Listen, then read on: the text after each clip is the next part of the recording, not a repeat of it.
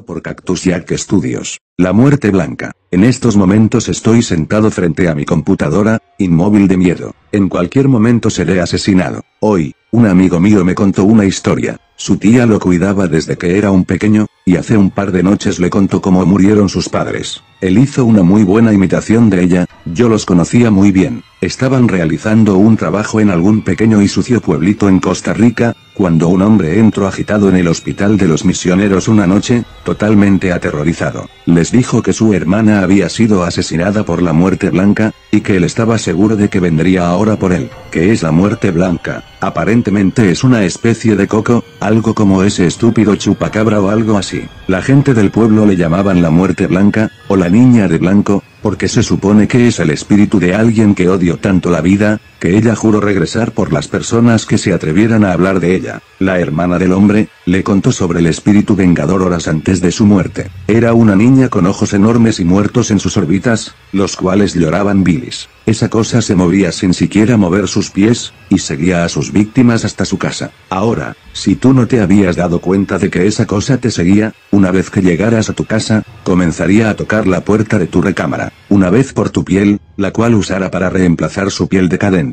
Dos por tus huesos, los cuales usara como armas para matar a sus víctimas. Tres por tu corazón, el cual usara en su cuello. Cuatro por tus dientes, los cuales pulirá y mantendrá como sus trofeos en una caja. 5 por tus ojos, con los que verá a tus seres queridos. 6 por tu alma, la cual se comerá por completo, nunca descansarás jamás una vez que estés dentro de ella. Ella repetirá esto en cualquier espejo o puerta que esté entre tú y ella. No podrás correr más rápido que ella, pues es más rápida que el hombre más rápido del mundo. Y si huyes de tu casa cuando ella está tocando la puerta, no será tan cortés contigo una vez que regreses y clame tu alma.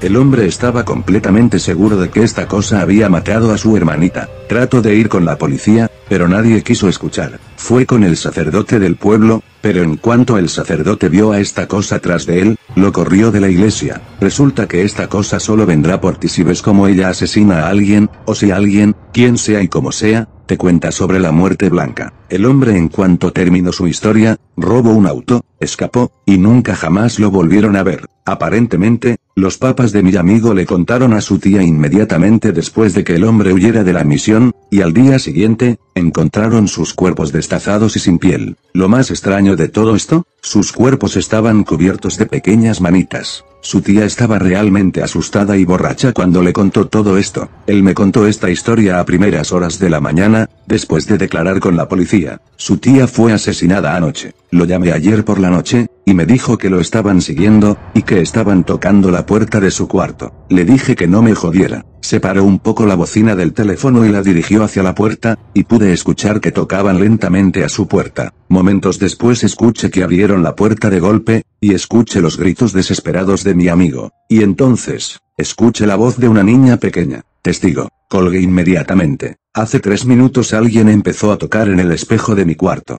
Creo que ella tocara unas seis veces en mi espejo, después tocara en la puerta de mi casa, y quizás después lo haga en la puerta de mi cuarto. Lo hace lentamente. Creo que quiere asustarme más, hacerme saber que mi muerte está a solo unos momentos. Empezó a tocar la puerta de mi cuarto hace un par de minutos. Ella terminará conmigo en cualquier minuto.